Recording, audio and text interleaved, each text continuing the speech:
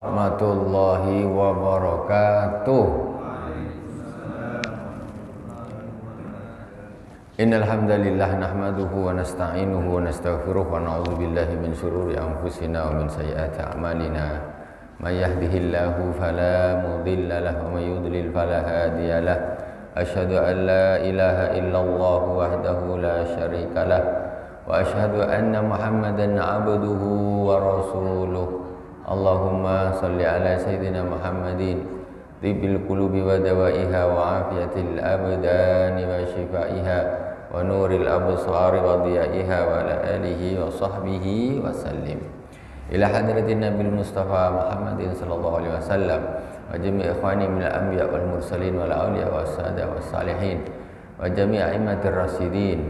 وجميع أولياء الله تعالى في مشارق الأرض ومغاربها في برها وبحرها أينما كانوا. خصوصا سلطان علي أصحاب القادر الجيلاني وصحاب الدين النكسبندي وصحاب الحسن الشاذلي وصحاب الأبس الديجاني وصحاب إبراهيم الدسوقي وصحاب البدوي وصحاب الرفاعي وأبو يسيد محمد بن ألبي الملك الحسني وأبو يسيد أحمد بن سيد محمد بن ألبي الملك الحسني. وخصوصا إلى الإمام محمد بن محمد بن محمد الغزالي rahimahumullah ta'ala wa nafa'ana Allah bihim wa bi'lumihim fid darain. Al-Fatihah. A'udzu billahi minasy syaithanir rajim. Bismillahirrahmanirrahim. Alhamdulillahi rabbil alamin. Ar-Rahmanir Rahim Maliki yaumiddin Iyyaka na'budu wa iyyaka nasta'in. Ihdinas siratal mustaqim Siratal ladzina an'amta 'alaihim ghairil maghdubi 'alaihim waladdallin amin. Bismillahirrahmanirrahim. Qala Al-Imam Al-Ghazali rahimahullah taala fi kitabih Al-Arba'in bi Usuluddin Al-Aslu As-Sabi fi Talabil Halal. Kita sampai di pembahasan pokok yang ketujuh di antara 40 pokok-pokok agama yaitu fitolabil halal membahas tentang mencari rezeki yang halal. Berangkat dari firman Allah Subhanahu wa taala kulu minat thayyibati wa'malu sholihah makanlah yang halal-halal dan beramal solihlah perintah makan halal lebih didahulukan daripada perintah beramal soleh karena amal soleh tidak akan diterima oleh Allah Subhanahu wa taala kalau perutnya diisi dengan perkara-perkara yang haram. Kita sampai di pembahasan tibul mat'am wa safaul qalbi. Bagusnya makanan dan beningnya hati. Kemarin Al-Imam Al-Ghazali rahimahullah taala mengatakan bahwa sesungguhnya an-natibal kalam law khasyatun azimatun fi tasfiyatil qalbi wa tanwirihi wa ta'kid istidadihi li qabuli anwari ma'rifah.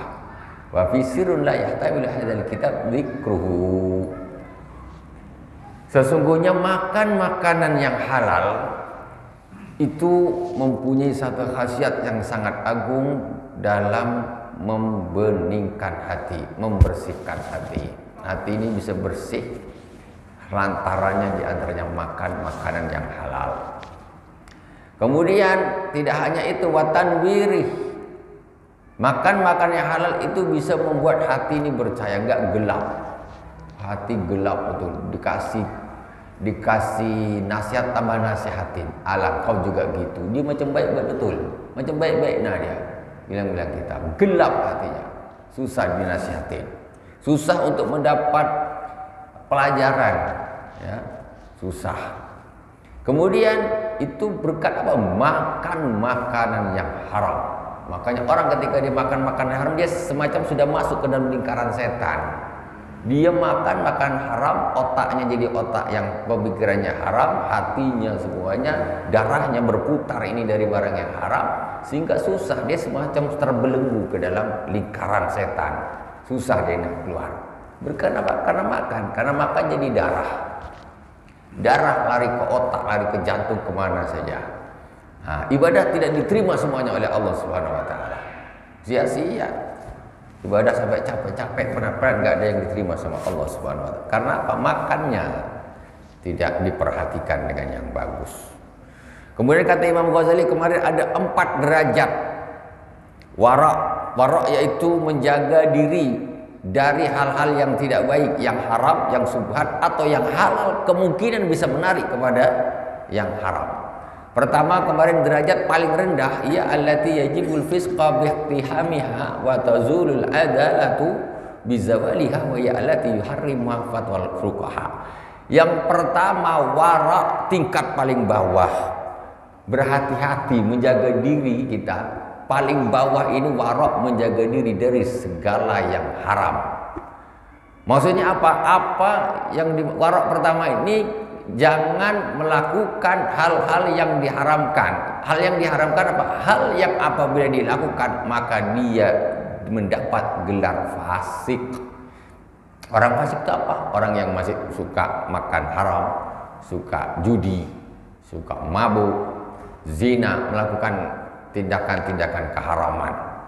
Itu namanya orang fasik. Salat, salat, tapi suka perkara haram masih dilakukan. Itu namanya orang fasik. Pertama, kelompok warok yang paling bawah itu menjaga diri dari semua yang diharamkan oleh Allah Subhanahu wa taala. Satu, itu paling bawah. Kemudian warok salihin, tingkat yang kedua naiknya lagi sedikit yaitu waroknya orang-orang yang soleh. Orang yang soleh waroknya gimana? Apa yang mereka jaga selain hanya yang haram naik lagi ke atas. Yaitu bahwa al-hadar amma yatadarku ila ihtimalul al-muharram wa af wa in aftal mufti bihillihi binan ala zahir bahwa alladhi qala fihi Rasulullah sallallahu alaihi wasallam dak ma yaribuka ila ma yaribuk yaitu yang kedua, warak yang tingkat lebih tinggi, yang berhati-hati di dalam beragama. Warak itu berhati-hati di dalam beragama, menjaga dari hal-hal yang bisa merusak agama. Tadi pertama paling bawah tentu yang haram harus ditinggalkan. Yang kedua, yaitu menjaga diri dari sesuatu yang mungkin ini haram. Belum pasti haram, tapi ini mungkin ini haram. Wa in aftal mufti bihili binan walaupun ada mufti, ada ulama mengatakan ini halal. Ini halal. Tapi dia tengok ah kok gini kok halal? Ragu aku. Walaupun ada ulama menfatwakan itu halal, tapi di dalam hatinya dia ada keraguan. Nah, karena ulama itu hanya nilai secara zahir saja. Zahirnya gini gini gini, halal. Gini gini gini, halal. Tetapi dia kembali kepada hatinya. Ini kalau menurut tengok kayak gini, kayak gini, kayak gini, ah, aku nih curiga kayak gini nih. Ini lebih bagus ditinggalkan. Kenapa lebih bagus ditinggalkan? Karena dia dalam hati ini ada keraguan. Kalau secara fikih boleh, umpamanya secara fikih boleh. Kata pokoknya ini ulama menfatwakan ini halal boleh. Secara fikih silakan. Tetapi hati kita ini kalau menurut saya nih, ah, saya tak yakin pula macam gini kok. Ah, ini yang seperti ini kita selaku orang yang beriman kalau kita nak naik derajat kita, kita harus naik warakus salehin. Jangan hanya meninggalkan yang pasti haram, tapi yang ini mungkin ada kemungkinan haram ini. Ini juga harus ditinggalkan. Apa kata Rasulullah? Dak mayaribuka ila malayaribu. Kalau kita ragu tinggalkan kata Rasulullah. Itu paling mudah. Rasulullah bilang, "Dak maya ribuk ila maya ribuk." Kalau ada sesuatu di depan kita, ini bagus tak eh? Bagus tak eh? Tinggalkan. Ini halal tak ya? Macam halal, macam tidak. Tinggalkan. Ini aku lakukan tak ya? Iya tak ya? Bagus tak ya? Tinggalkan. Itu kata Rasulullah. Kalau itu meragukanmu, tinggalkan. Itu tak bagus. Ini Rasulullah yang kita ikut Rasulullah karena sesuatu yang ini namanya wara, menjaga diri, menjaga agama. Nah, ini baru tingkat dua. Ini masih padahal sudah ada yang memfatwakan halal. Tapi kita masih ada keraguan karena kita punya data. Kita punya data, kita punya dikasih akal sama Allah, kita juga berpikir, kita lihat gini, lihat gini. Wah, kayaknya macam mana nih ya? Nah, itu kita tinggalkan saja seperti itu, ikut Nabi. Yang ketiga yaitu wara'ul muttaqin, yaitu waraknya orang-orang yang muttaqin, yaitu Kalau Nabi SAW, la yablughul abdu darajatal muttaqin hatta yadur kama la ba'sa bi hadaran wa makhafatan mimma bi ba'sun. Kata Rasulullah SAW, ini warok nomor tiga, derajat ketiga. Tidak sampai seorang hamba kepada derajat muttaqin sampai dia meninggalkan sesuatu yang di, tidak dosa. Sesuatu yang tidak dosa. Sampai dia meninggalkan sesuatu yang tidak ada dosanya, khawatir nanti kalau dia melakukan hal tersebut dia akan terjerumus kepada dosa.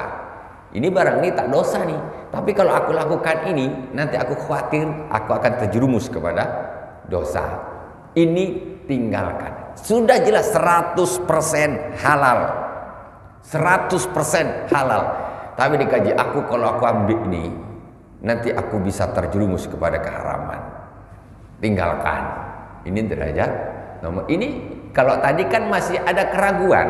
Ulama memperhatikan halal, kita ada keraguan. Ini tak kita tak ragu juga. Ini sudah memang betul-betul halal. Tapi diuji lagi ke belakangnya. Ini kalau aku ambil, aku ini bisa terjerumus kepada keharaman. Maka itu ditinggalkan. Kenapa? Ini dulu dilakukan oleh para sahabat. Waktu Umar radhiyallahu taala anhu Sayyidina Umar radhiyallahu taala anhu berkata, "Kunna nad'utis ata asyaril halal makhafatal wuqu'i fil haram." Kata Sayyidina Umar bin Khattab radhiyallahu taala kami meninggalkan tis'ata asyar 9 per 10 perkara yang halal karena takut jatuh kepada yang haram. Maksudnya 9 per 10 ada 10 perkara yang halal betul-betul halal. Kata Sayyidina Umar, kami sembilan ini kami tinggalkan. Kenapa? Karena kalau aku ambil yang sembilan yang halal-halal betul ini, aku takut dibalik sembilan ini nanti, aku aku akan terseret kepada yang haram. Maka ini tinggal cuma ambil satu saja. Ada lagi kisah wa minal asli ma ba'du idza wa minal asli Wa min hadzal asli kana ba'duhum idza istahaqqa mi'ata dirhamin iktasar ala tis'atin wa tis'ina wa yatrukul wahid hajizan bainahu wa bainan nar li khafiz ziyadah. Jadi para sahabat dulu sebagian sahabat ini ketika mereka berhak mendapatkan uang 100 dirham, ada duit 100 dirham. Duit 100 dirham nih, hak halal, Pak, ini 100 dirham. Duit untuk bapak halal 100% halal. 100 dirham. Sebagian sahabat apa yang dilakukan mereka? Iktara iktasara ala tis'atin wa tis'ina wa ya wa yatrukal wahid. Mereka ini yang 100 itu yang 99 tidak diambil saya ambil satu saya ini 99 walaupun hak saya halal bagi saya tapi tidak ini tolong saya tak mau ambil bagikan saja bagikan sana, bagikan. Aku ambil satu saja. Kata mereka. Kenapa? Karena hajizan bain wa bainar ziyadah untuk menjaga diri dia sebagai benteng dari dia dengan neraka karena takut berlebih. Berlebihan. Itu maksudnya gimana? Maksudnya gimana? Kadang-kadang orang nih kalau di duitnya banyak, dia akan punya kesempatan bermaksiat lebih banyak daripada orang yang duitnya sedikit tau betul tau ha, pegang duit 10 ribu nak pergi diskotik mana ada. Dia tak ada tapi 10 juta dia pegang. Ke mana nak pergi dia? Hotel ini ini semua terbuka. Nak apa dia nak poya-poya nak ini ada. Makanya ini sahabat dia dapat 199 bagilah sana. Aku ambil satu saja. Untuk agar aku ini dengan 99 atau kalau aku ambil 100 semua aku takut nanti ketika aku megang 100 ini aku akan terjerumus kepada hal-hal yang tidak bagus. Kayak gitu. Ini namanya waraul muttaqin. Enggak dosa kalau diambil 100 itu memang halal betul memang nah, ini namanya menjaga diri menjaga agamanya begitu dulu para sahabat menjaga agama mereka. Nah, itu. Kemudian wa kana ba'dhum ya'khudhu ma ya'khudhu bi nuqsanil habbah wa yu'ti ma yu'ti bi ziyadatil habbah. Walidzalika akhadha Umar ibn Abdul Aziz rahmat rahmatullahi alaihi anfahu hadaran min rihil miski li baitil mal kana yuzanu baina yadayhi. Bakal hal yuntafu ila birihi. Satu seorang khalifah yaitu Sayyidina Umar ibn Abdul Aziz ajib orang soleh khalifah tetap plus wali daripada walinya Allah Subhanahu wa taala. Sayyidina Umar bin Abdul Aziz beliau ketika masuk ke Baitul Mal pada suatu hari masuk ke Baitul Mal tuh Ketika masuk ke Baitul Baitul Mal itu penuh dengan hartanya umat. Ada macam-macam, ada gandum, ada ini, ada itu. Di situ juga ada minyak wangi. Pada waktu itu uh, pas Sayyidina Umar bin Abdul Aziz ini masuk ke dalam Baitul Mal, minyak wangi itu kan biasa ada botol besar gini bang, kan dibagi dibagi-bagi botol kecil. Ini lagi nimbang minyak wangi. Pegawai di Baitul Mal sedang nimbang minyak wangi Sayyidina Umar bin Abdul Aziz masuk. Ketika melihat para sahabat apa nih anak buahnya ini pegawainya sedang nimbang minyak wangi ketika masuk ke dalam Baitul Mal Sayyidina Umar bin Abdul Aziz menutup hidungnya begini. Nutup hidungnya dia. Maksudnya apa? Katanya dia jangankan dia nak makan duit yang haram nak korupsi baunya minyak wangi dia pun tak mau ngambil ini punya umat ini baunya dia tahu. Ditutup. Sayyidina Umar bin Abdul Aziz, Pak, ada manusianya itu. Orang soleh luar biasa, khalifah. Ah, jadi apa kata mereka? Apa kata Sayyidina Umar bin Abdul Aziz ketika menutup hidungnya katanya? Hal yuntabu ila birihi. Minyak wangi ini kan memang yang diambil itu kan baunya. Jadi ketika aku masuk ini bau ini bukan punya saya, maka aku pun tidak mau mengambilnya. Kayak gitu. Jaga hati-hatinya. Sayyidina Umar bin Abdul Aziz. Lebih gawat mohon maaf kalau dibanding ini lebih gawat daripada atuknya Sayyidina Umar bin Khattab. Sayyidina Umar bin Khattab wara luar biasa. Yang ketika dia mengambil memanggil gubernur di waktu jadi khalifah gubernurnya dipanggil. Gubernurnya dipanggil ditanya bagaimana tentang daerah sana, provinsi sana gimana, rakyat gimana, kebutuhan gimana diterangkan sama gubernurnya begini, begini, begini, khalifah begini. Sudah selesai urusan itu kemudian ganti pembahasan masalah keluar keluarga, bagaimana kabarnya, bagaimana ini. Sama setelah itu langsung dimatikan, dimatikan lampu tempat di kantornya khalifah itu dimatikan. Kaget gubernurnya khalifah, kenapa dimatikan lampunya? Katanya, ini lampu nih, ini pakai duit umat katanya. Nah sekarang ini ada lampu kecil, ini pakai duit aku punya duit ini aku. Nah kita pakai lampu kecil ini. Sekarang kenapa tadi lampunya tidak aku matikan? Karena kita sedang berbicara tentang masalah um, umat. Sekarang kita berbicara masalah keluarga, masalah pribadi. Jadi ini minyaknya pakai minyak saya.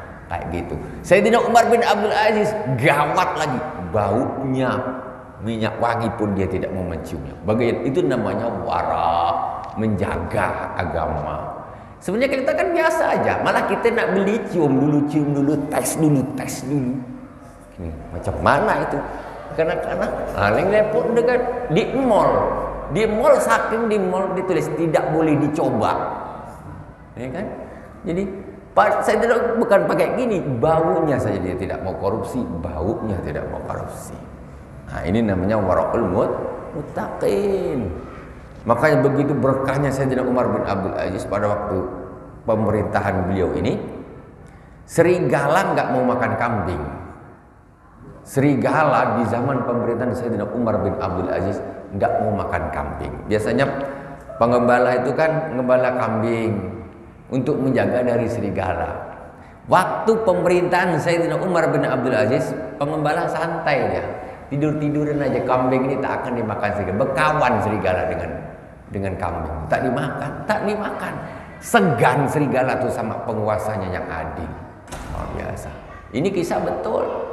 Jadi pada suatu hari pengembala tuh sedang enak-enak tidur tidur tidur tidur tidur tidur tahu-tahu kambingnya diterkam serigala tahu-tahu apa kata dia?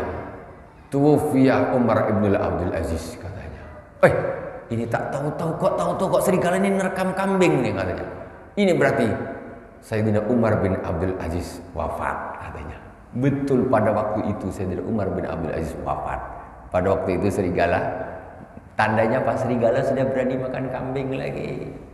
Itu adilnya luar biasa Sayyidina Umar bin Abdul Aziz. Luar biasa Sayyidina Umar.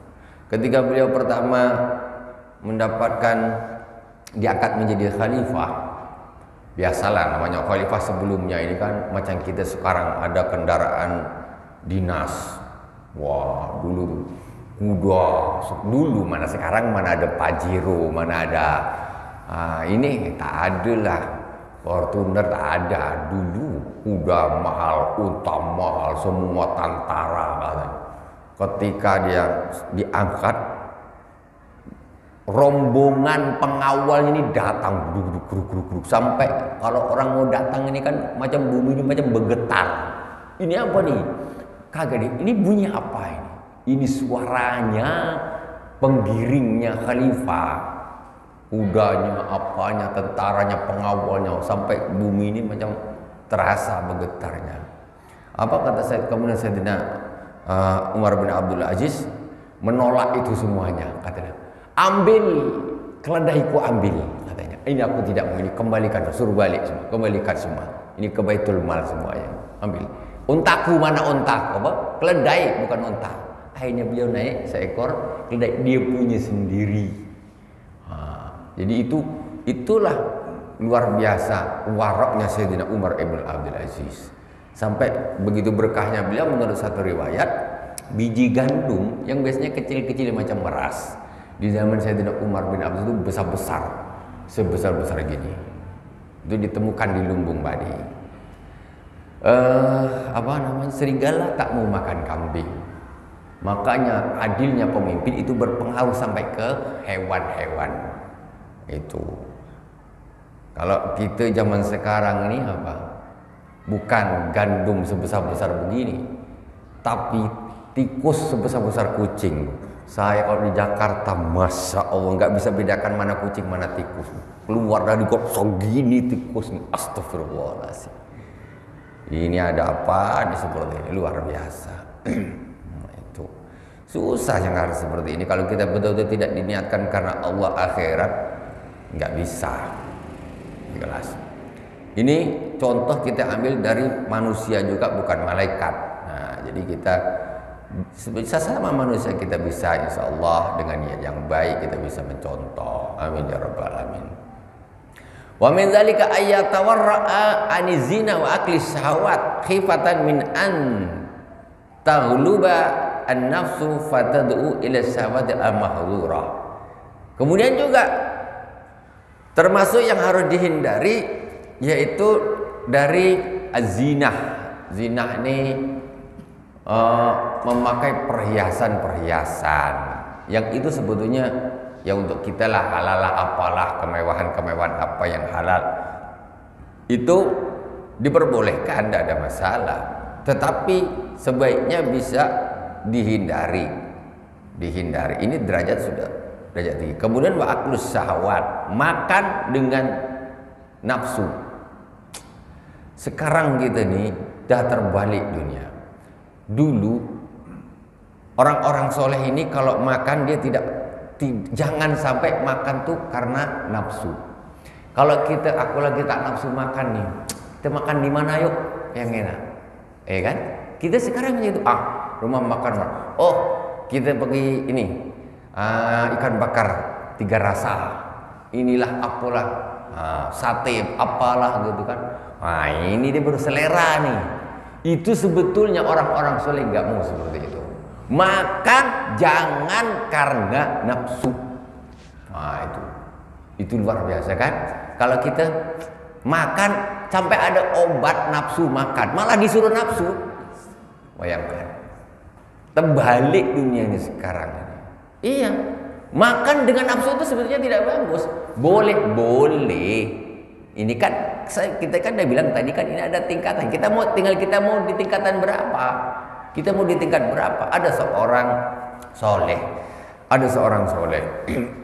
Dia kepingin sekali makan ada buah satu buah apa gitu jarang ada dan dia kepingin sekali makan buah itu jadi satu tahun, dua tahun, dua tahun, tiga tahun enggak ketemu ketemu buah itu.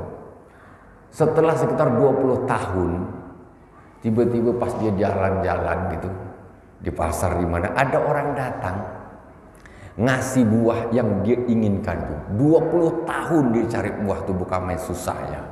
Bukan main susah. 20 tahun. Suka ah ini dia buah yang aku inginkan.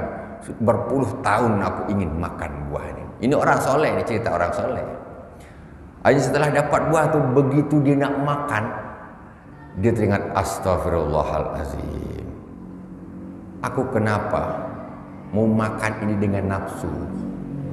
Makannya dengan nafsu. Makanya buah, akhirnya apa? Buah yang mau dia makan dengan nafsu itu akhirnya tidak jadi dimakan, diberikan kepada orang lain. Aku nggak mau makan sesuatu itu pakai nafsu, jangan. Jadi kita makan, kenapa niatnya? Untuk lihadzir romak, untuk menjaga rohnya agar tidak keluar dari badan, agar tak sakit, agar sehat. Bukan karena oh ini sedap nih. Nah ini dan nafsu tuh. Halal, halal, boleh, boleh.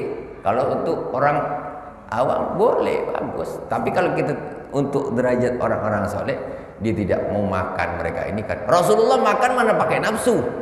Tidak ada Rasulullah makan pakai nafsu. Rasulullah makan tidak pakai nafsu. Makanya jangan beli obat nafsu makan. Aduh. Obat nafsu datang nafsu itu sudah bagus. Engkau makan bukan karena nafsu, tetapi engkau harus menjaga nyawamu agar tidak keluar dari badanmu. Supaya engkau sholat engkau bisa berdiri, engkau puasa engkau bisa puasa sampai maghrib engkau makan. Makanya kita tuh aneh, makanya zaman tuh sudah jauh pak, terbalik. Kalau pas buka puasa itu bukanya pakai nafsu apa tidak pakai nafsu? Pakai nafsu habis cendol, air tahu, kolak, apa benda entah semua ada di meja tuh. Semua di pinggir jalan dibeli dia. Ini kok pakai nafsu makannya ini? Rasulullah tak ada cerita pakai nafsu. Buka kurma saja tujuh biji. Mana ada nafsu? Kalau kita, ah, ini baru takjil. Habis sholat maghrib makan lagi. Men, habis terawih makan lagi. Nafsu full nafsu. Apa tidak begitu masuk sawal tambah gemuk-gemuk. Katanya puasa tapi tambah gemuk. Menahan nafsu. Menahan dari mana? Kata Imam Ghazali, orang yang puasa makannya sama porsinya. Volumenya sama dengan orang yang tidak puasa. Puasanya tidak ada gunanya. Karena aslinya puasa itu apa? Menahan nafsu. Jadi kalau kita puasa lebih banyak apa lebih sedikit kita makan pak? Kalau bulan Ramadan tuh pasar sampai kekurangan, mall-mall keranjang semua penuh-penuh sampai kehabisan. Ini kok tambah puasa, kok tambah banyak makannya. Sama saja kata Imam Ghazali. Biasanya makannya dua piring, puasa dua piring, nggak puasa dua piring, puasanya nggak ada gunanya. Kenapa? Karena menahan nafsunya itu tidak ada. Menahan nafsunya tidak ada. Cuma ceng jam makan aja. Sarapan ditarik ke sahur. Makan siang ditarik ke buka kan? Makan malam ditarik habis terawih. Tambah lagi macam takjil ini itu jadi tambah gemuk nafsunya tambah luar biasa. Biasanya tak pernah masak ini tak pernah masak ini. Puasa masak makan. Kita makannya tuh nafsu semuanya. Jadi cobalah kita belajar nih, aku makan ini bukan karena nafsu, tapi karena ini memang kewajiban kita untuk menjaga ruh ini agar tidak keluar dari badan, agar kita bisa ibadah. Kenapa orang makan? Untuk agar dia kuat ibadah? Jadi kita makan kita pun jadi ibadah.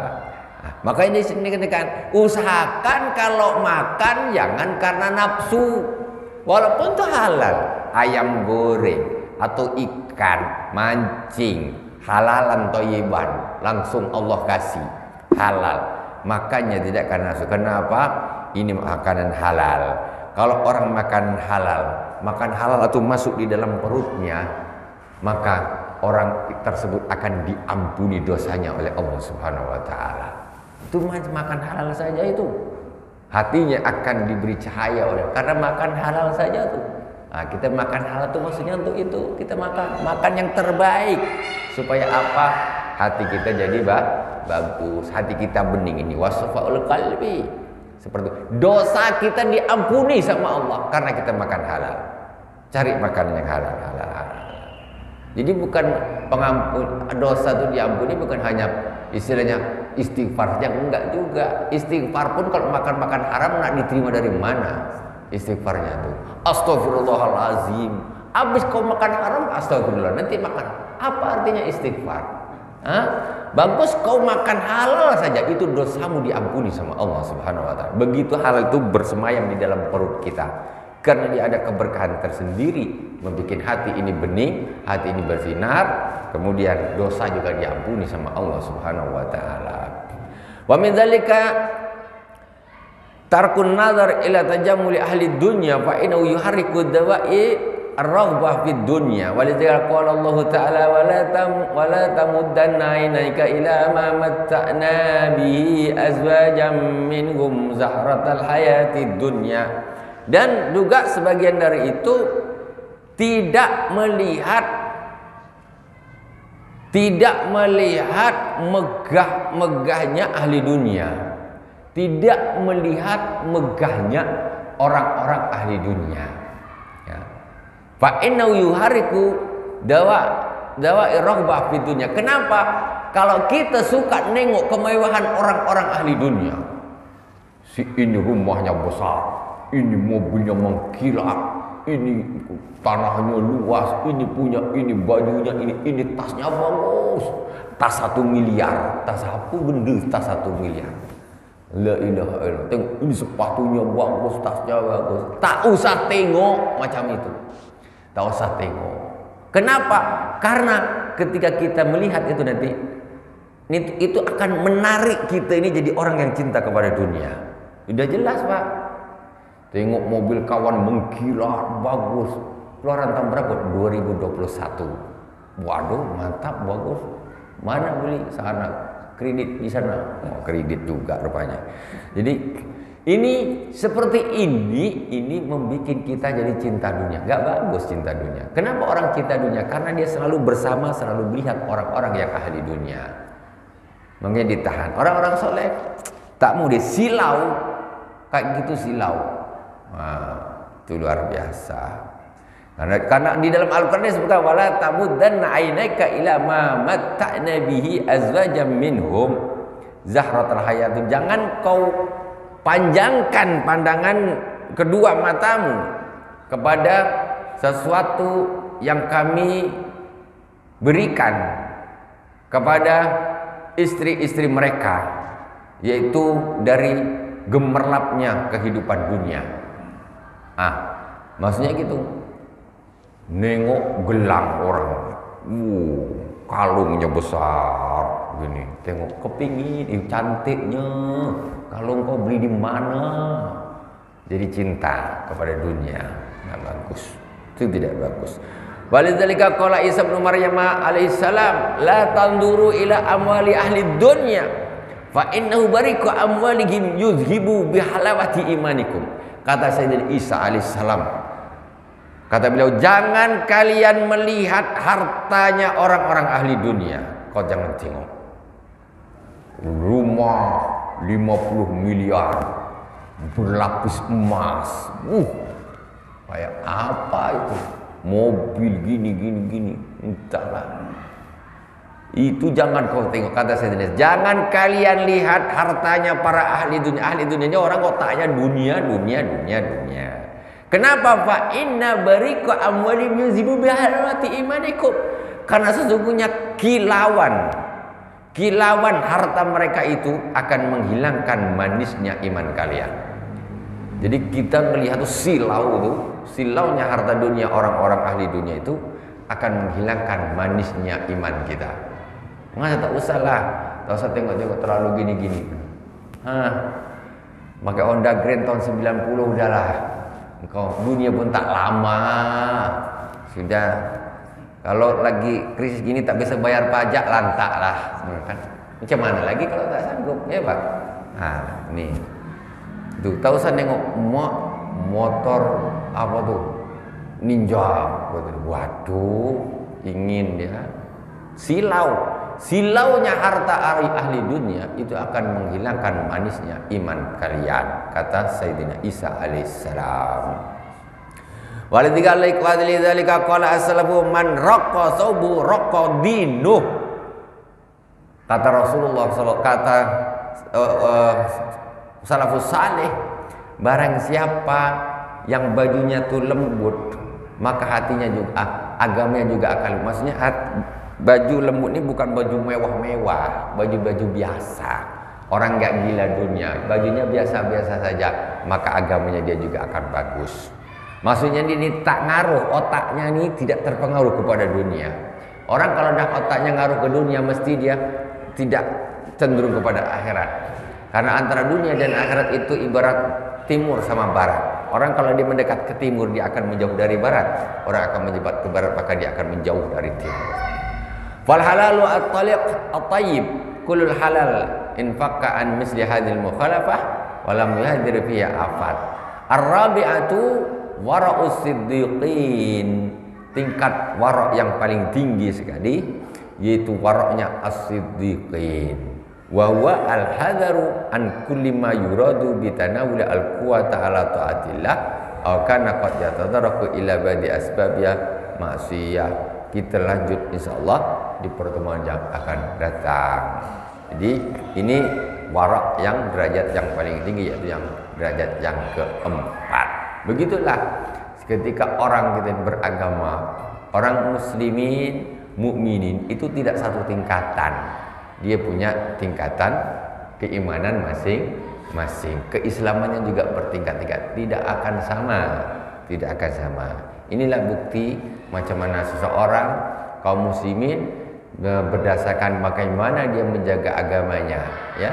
Itu masing-masing dengan uh, komitmennya masing-masing ya. Subhanakallahumma wa bihamdik asyhadu an la ilaha illa anta astaghfiruka wa atubu ilaik wa sallallahu ala sayyidina Muhammadin wa ala alihi wa sahbihi wa baraka wa sallam. Alamin. Wassalamualaikum warahmatullahi